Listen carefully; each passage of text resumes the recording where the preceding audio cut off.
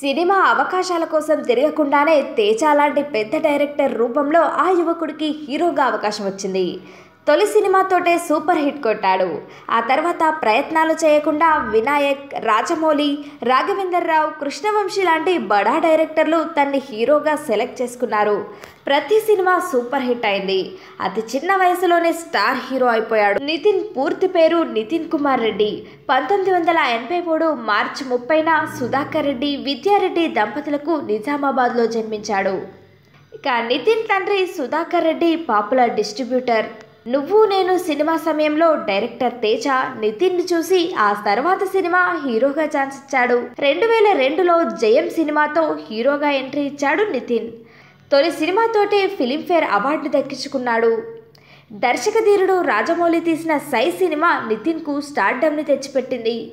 ఒకానొక దశలో ఏకంగా దశాబ్దానికి పైగా వరుసగా పద్నాలుగు సినిమాలు ఫ్లాప్ వచ్చాయి నితిన్కి. రెండు వేల పన్నెండులో వచ్చిన ఇష్క్ సినిమాతో మళ్ళీ సక్సెస్ బాట పట్టాడు. రెండు వేల ఇరవైలో వెంకీ కుడుముల రూపొందించిన భీష్మతో మరో భారీ హిట్ను తన ఖాతాలో వేసుకున్నాడు. ఈ ఏడాది చెక్తో ఎంట్రీ ఇచ్చి తాజాగా రగ్దే మూవీతో మంచి సక్సెస్ అందుకున్నాడు. హీరోగానే కాకుండా నిర్మాతగా గాయకుడిగా తనకంటూ ప్రత్యేక గుర్తింపు తెచ్చుకున్నాడు. పవన్ కళ్యాణ్ నటించిన తొలి ప్రేమను ఇరవై ఎనిమిది సార్లు చూసి పవన్ స్టార్కు వీరాభిమానిగా మారాడు. ఇక జూలై పదహారు రెండు వేల ఇరవైన శాలిని కందుకూరితో నితిన్ వివాహం జరిగింది. ఈ వేడుకకి పవన్ కళ్యాణ్ హాజరయ్యాడు.